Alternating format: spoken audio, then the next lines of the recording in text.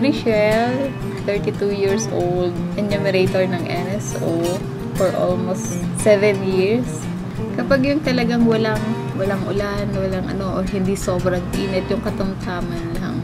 Lalo na pag depressed area, siguro nakaka-50 ka sa isang araw. At yun din ang may interview mo sa isang araw.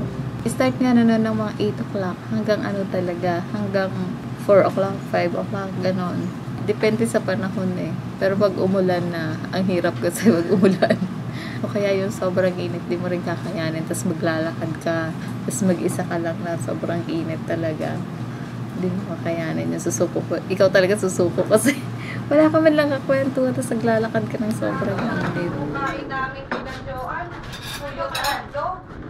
Mas madali pag may kasama. Kasi mas madali mag-approach sa tao kapag ganon. Lalo na sa, lalo na sa mga subdivision. Mas madali. Kasi kapag nakikita nila na mag-isa ka lang na nag-iikot, doon talaga sila nag-iisip na baka hindi ka talaga sa census, ganyan. Pero pag marami kami, mabilis lang yun. Lalo na nakita nila na kumakat may kumakatok din sa kabilang pinto, papapasukin talaga nila.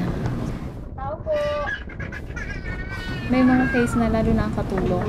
Tapos sabihin sa'yo, lalabas sa pinto. Tapos sabihin niya, walang tao. Tapos bagsak na naman yung pinto.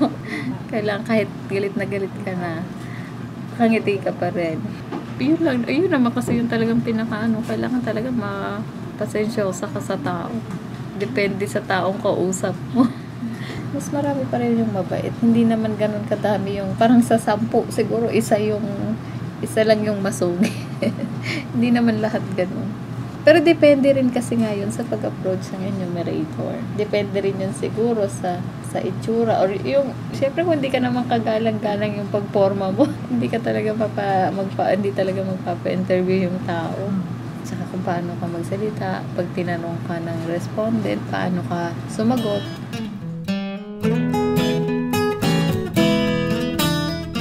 Ang, ang sarap ng pakiramdam pag, narinig mo kung ano yung result ng ginawa, ginawa sa field, nakakawala ng pagod na kabilang ako sa paggawa niya. Yung parang gano'n. Ang dami mong matututunan pag na, na, na ano mo yung result niya. Ang sisimple lang ng tanong, ganito lang yung mga tanong, pero pag lum- lumabas yung result niya, sabi mo, ay, ganun pala yun. Talagang maganda.